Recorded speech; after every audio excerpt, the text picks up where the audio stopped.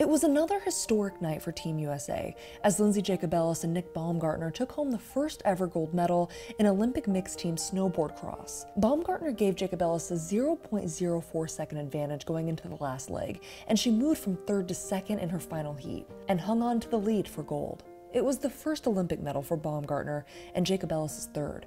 Earlier this week, Jacobellis became the oldest American woman to win an Olympic medal ever at 36 years old. Be sure to stay with WTHR.com for more Olympic updates.